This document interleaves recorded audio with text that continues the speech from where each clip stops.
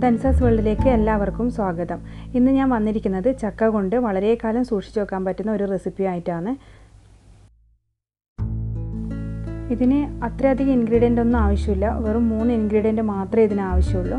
അപ്പോൾ നമുക്ക് ഉണ്ടാക്കാൻ വേണ്ടി തുടങ്ങാം.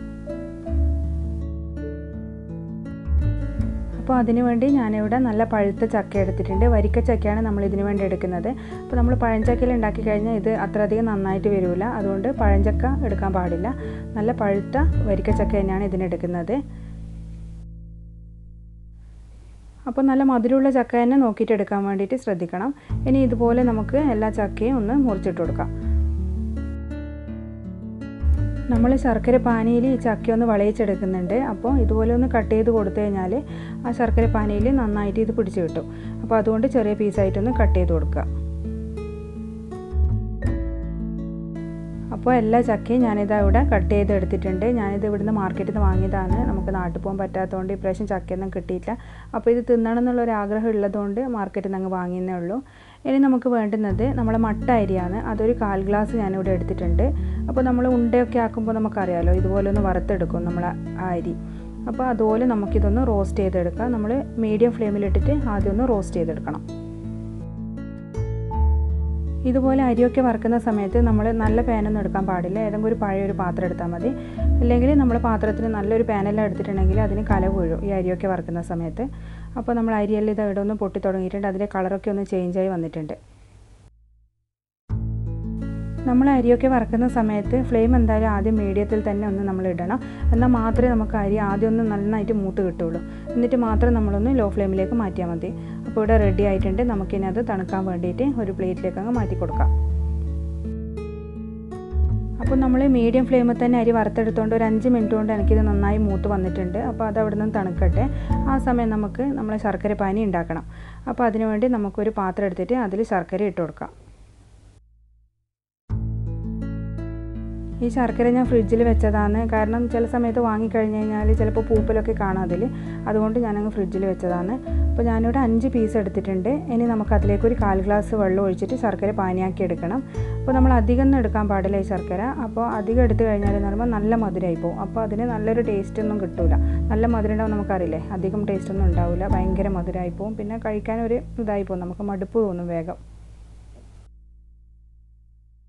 ശർക്കര നമ്മൾ പാനിയാക്കി എടുക്കുന്നത് ലോ ടു മീഡിയം ഫ്ലെയിമിലിട്ടിട്ടാണ് നമ്മൾ ഹൈ ഫ്ലെയിമിലൊക്കെ വെച്ച് കഴിഞ്ഞാൽ ചിലപ്പോൾ അത് കരിഞ്ഞു പോകും. അതുപോലെ ലോ ഫ്ലെയിമിലിട്ട് കഴിഞ്ഞാൽ വേഗുന്നത് ഇതായിട്ട് കിട്ടില്ല അലിഞ്ഞ് കിട്ടുകയില്ല അപ്പോൾ ഇതാ ഇവിടെ റെഡി ആയിട്ടുണ്ട്. നമ്മളെ ശർക്കരയൊക്കെ നന്നായി അലിഞ്ഞിട്ടുണ്ട്. നല്ലൊരു പാനിയായിട്ട് ഇവിടെ കിട്ടിയിട്ടുണ്ട്. ഇനി നമുക്ക് നേരത്തെ വറുത്തെടുത്ത അരി ഒന്ന് നോക്കാം. അതിവിടെ നന്നായിട്ട് തണുത്തിട്ടുണ്ട്. അപ്പോൾ നമുക്ക് ഇനി ഇതൊന്ന് പൊടിച്ചെടുക്കണം. മിക്സിയുടെ ചെറിയ ജാർ എടുത്തിട്ട് അതിലേക്ക് നമുക്ക് അരിയെല്ലാം ഇട്ട് കൊടുക്കാം. അപ്പോൾ നന്നായി തണിഞ്ഞതിന് ശേഷം മാത്രമേ പൊടിച്ചെടുക്കാതെ നിങ്ങൾക്കറിയാലോ ചൂടോടെ ഇട്ട് കഴിഞ്ഞാൽ ആ മിക്സി അങ്ങ് മോശമായി പോകും. അപ്പോൾ നന്നായി തണുത്തതിന് ശേഷം നമുക്കൊന്ന് പൊടിച്ചെടുക്കാം. അപ്പോൾ ഞാനിവിടെ പൊടിച്ചെടുത്തിട്ടുണ്ട്. നല്ല ഇതായിട്ട് തന്നെ നല്ലോണം പൊടിയുന്ന വിധത്തിൽ തന്നെ ഇതാ ഞാനിവിടെ പൊടിച്ചെടുത്തിട്ടുണ്ട്. നല്ല മിനുസായിട്ട് തന്നെയാണ് കിട്ടിയിട്ടിരിക്കുന്നത്. ഇനി നമുക്ക് നമ്മളെ ശർക്കര പാനി വേറൊരു പാത്രത്തിലേക്ക് ഒഴിച്ചു കൊടുക്കാം. ഞാൻ അരിച്ചിട്ടാണ് ഒഴിക്കുന്നത്. കാരണം നമ്മൾ അറിയാലോ ഇതിൽ കല്ലും മണ്ണൊക്കെ ഉണ്ടാകുന്നില്ല. ഞാൻ എല്ലാ വീഡിയോയിലും ഇങ്ങനെ ഇതുപോലെ ഉണ്ടാക്കുന്ന സമയത്ത് പറയുന്നുണ്ട് നന്നായിട്ട് അരിച്ചെടുക്കണം എന്നുള്ളത്. അപ്പോൾ ഇവിടെ നല്ലോണം അരിച്ചെടുത്തിട്ടുണ്ട്. അടിയിൽ കല്ലുമണ്ണൊക്കെ ഉണ്ടായിരുന്നു. ഇനി നമുക്ക് ഒരു ലോ ടു മീഡിയം ഫ്ലെയിമിലിട്ടിട്ട് ഇതൊന്ന് തിളപ്പിച്ചെടുക്കണം. ഇതാ ഇവിടെ തിള വന്ന് തുടങ്ങിയിട്ടുണ്ട്. ആ സമയത്ത് നമ്മൾ നേരത്തെ മുറിച്ച് വെച്ച ചക്ക അതിലേക്ക് ഇട്ട് കൊടുക്കുക. എന്നിട്ട് നന്നായിട്ടൊന്ന് ഇളക്കി കൊടുക്കാം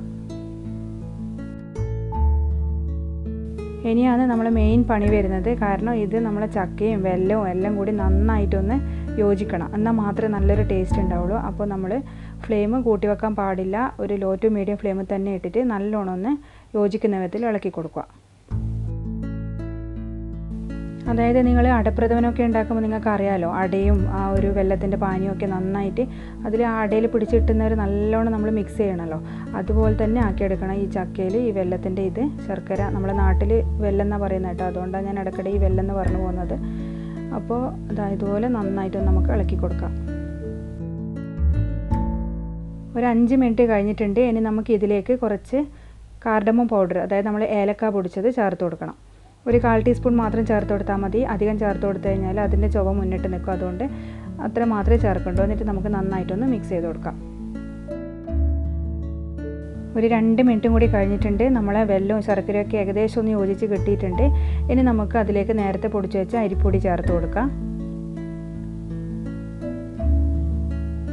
അരിപ്പൊടി ഞാൻ മുഴുവനായിട്ടും ചേർത്ത് കൊടുക്കുന്നുണ്ട്. നിങ്ങൾ നോക്കി നോക്കി ചേർത്ത് കൊടുക്കണം. കാരണം അരിപ്പൊടി ചേർത്ത് കൊടുക്കുമ്പോൾ അറിയാം നമുക്ക് ആ അരിപ്പൊടിയിൽ വെള്ളം ഇങ്ങനെ വലിച്ചെടുക്കും നമ്മളെ ആ ശർക്കര പാനി എന്ന് പറയുന്നത്. അതങ്ങ് വലിച്ചെടുക്കും. അപ്പോൾ പിന്നെ ഇത് ഭയങ്കര കട്ടിയായി പോകും. അധികം കട്ടിയായി പോകാൻ പാടില്ല. അതുകൊണ്ട് നിങ്ങൾ നോക്കി നോക്കിയിട്ട് അങ്ങ് ചേർത്ത് കൊടുത്താൽ മതി. ശർക്കരപ്പാനി അധികം പറ്റുന്ന സമയത്തല്ല കേട്ടോ നമ്മൾ ചേർക്കുന്നത്. കുറച്ചൊരു ലൂസായിരിക്കുന്ന സമയത്ത് തന്നെ ഈ പൊടി നമ്മൾ ചേർക്കണം. അല്ലെങ്കിൽ അത് വലിച്ചെടുത്തിട്ട് ആ പാനി നമ്മളെ ഇത് അരിപ്പൊടിയെല്ലാം വലിച്ചെടുത്തിട്ട് ഭയങ്കര കട്ടിയായി പോകും. പിന്നെ അത് എന്താ പറയേണ്ട ഒരു ടേസ്റ്റ് ഇല്ലാണ്ടായി പോകും അതുകൊണ്ട് കുറച്ചൊരു ലൂസായിരിക്കുന്ന സമയത്ത് തന്നെ നമ്മൾ ആ അരിപ്പൊടി ചേർത്ത് കൊടുക്കാൻ വേണ്ടിയിട്ട് ശ്രദ്ധിക്കുക. ഇനി നമുക്ക് ഇതിലേക്ക് ചേർത്ത് കൊടുക്കുന്നത് പശു നെയ്യാണ്. അപ്പോൾ രണ്ട് ടേബിൾ സ്പൂൺ പശു നെയ്യ് ഞാനിവിടെ ചേർത്ത് കൊടുത്തിട്ടുണ്ട്. അതും കൂടി ചേർക്കുമ്പോൾ നല്ലൊരു മണലിട വരുന്നുണ്ട്. നല്ലൊരു ടേസ്റ്റുമാണ് കേട്ടോ ഇത് ചേർത്ത് കൊടുത്തു കഴിഞ്ഞാൽ എന്നിട്ട് നമുക്ക് നന്നായിട്ടൊന്ന് മിക്സ് ചെയ്ത് കൊടുക്കുക അപ്പോൾ ഇതാണ് ഇതിന്റെ കറക്റ്റ് പാകം എന്ന് പറയുന്നത്. അധികം ലൂസും ആയിട്ടല്ല അധികം കട്ടിയായിട്ടല്ല. ഈ ഒരു പാകത്തിൽ തന്നെ നിങ്ങൾ ആക്കിയിട്ടെടുക്കാൻ വേണ്ടിയിട്ട് ശ്രദ്ധിക്കണം. അപ്പോൾ നമുക്കിനി ഇത് ചൂടോടെ ഇതിൽ തന്നെ വെച്ച് കഴിഞ്ഞ് കഴിഞ്ഞാൽ അത് നല്ലോണം കട്ട് ചെയ്യും. അതുകൊണ്ട് നമുക്കതൊരു വേറൊരു പ്ലേറ്റിലേക്ക് അങ്ങ് മാറ്റി കൊടുക്കണം. നമുക്ക് വളരെ എളുപ്പത്തിൽ തന്നെ ഉണ്ടാക്കിയെടുക്കാൻ പറ്റുന്ന സാധനമല്ലേ? ഇത് അധികം ഇൻഗ്രീഡിയന്റ് ഒന്നും ഇതിന് ആവശ്യമൊന്നുമില്ല. നമുക്ക് വീട്ടിൽ കിട്ടുന്ന സാധനം മാത്രമല്ലേ ഇതിന് ആവശ്യമുള്ളൂ. അപ്പോൾ നമുക്കിനി ഇതൊരു വേറെ പ്ലേറ്റിലേക്ക് അങ്ങ് മാറ്റി കൊടുക്കാം. ഇനി നമുക്ക് തണുക്കുന്നവരെ ഒന്ന് വെയിറ്റ് ചെയ്യാം. ചൂടോടെ കഴിച്ചാലും കുഴപ്പമൊന്നുമില്ല. പക്ഷേ തണുത്തിട്ട് കഴിക്കുന്നതിന് നല്ലൊരു ടേസ്റ്റ് ഉണ്ടാകുക അപ്പോൾ ഒരു മൂന്നാൽ ദിവസമൊക്കെ ഇത് പുറത്ത് കേടുകൂടാണ്ട് നിൽക്കുകയും ചെയ്യും. പിന്നെ നമുക്ക് ഒരുപാടാക്കി വെച്ച് കഴിഞ്ഞാൽ നമുക്ക് ഫ്രിഡ്ജിൽ സൂക്ഷിക്കാം. അത് ഫ്രിഡ്ജിൽ നമുക്ക് ഒരു കൊല്ലം വരെയൊക്കെ സൂക്ഷിച്ച് വെക്കാൻ പറ്റും. ഫ്രിഡ്ജിൽ നിന്നൊക്കെ എടുത്തിട്ട് തണുത്തിട്ട് കഴിക്കുന്ന കേട്ടോ. ഇതിന്റെ നല്ലൊരു ടേസ്റ്റ് ഉണ്ടാകുക അപ്പോൾ നമ്മൾ നാട്ടിലൊക്കെ പോകുന്ന സമയത്ത് അമ്മ ഇതുപോലെ ഉണ്ടാക്കി വെക്കും. ഹസ്ബൻഡിന്റെ അമ്മ അവിടെ നല്ല ഒരുപാട് ചക്കയൊക്കെ ഉണ്ട്. അപ്പോൾ അമ്മ ഇങ്ങനെ ഇതുപോലെ ഉണ്ടാക്കി വെക്കും. ഇപ്പോൾ നമ്മൾ പോകുമ്പോൾ കഴിക്കാൻ വേണ്ടിയിട്ട്. അമ്മ നന്നായിട്ട് കുക്ക് ചെയ്യും. മിക്ക റെസിപ്പീസ് ഞാൻ അമ്മേന്റെ അടുത്ത് തന്നെയാണ് പഠിച്ചത്. അപ്പോൾ ഇത് അധികാരം ട്രൈ ചെയ്യാത്ത റെസിപ്പിയാണെന്ന് എനിക്ക് തോന്നുന്നത്. അപ്പോൾ നിങ്ങളൊന്ന് ട്രൈ ചെയ്ത് നോക്കുക. ചക്ക ഒരുപാടൊക്കെ ഉണ്ടാകുന്ന സമയത്ത് ഒന്ന് വെറൈറ്റി ആയിട്ടൊന്ന് ഉണ്ടാക്കി നോക്കുക. എന്നിട്ട് നിങ്ങളെ കമന്റ് ബോക്സിൽ ഫീഡ്ബാക്ക് എന്തായാലും ഒന്ന് അറിയിക്കണം. വീഡിയോ ഇഷ്ടമായിട്ടുണ്ടെങ്കിൽ നിങ്ങൾ സബ്സ്ക്രൈബ് ചെയ്ത് ബെൽ ബട്ടൺ കൂടി ഒന്ന് പ്രസ് ചെയ്യാൻ മറന്നു പോകരുത്. നിങ്ങളുടെ ഫ്രണ്ട്സിന് കൂടി ഒന്ന് ഷെയർ ചെയ്യണം. ഇനി നമുക്ക് അടുത്ത വീഡിയോയിൽ പുതിയൊരു റെസിപ്പിയുമായിട്ട് കാണാം. താങ്ക്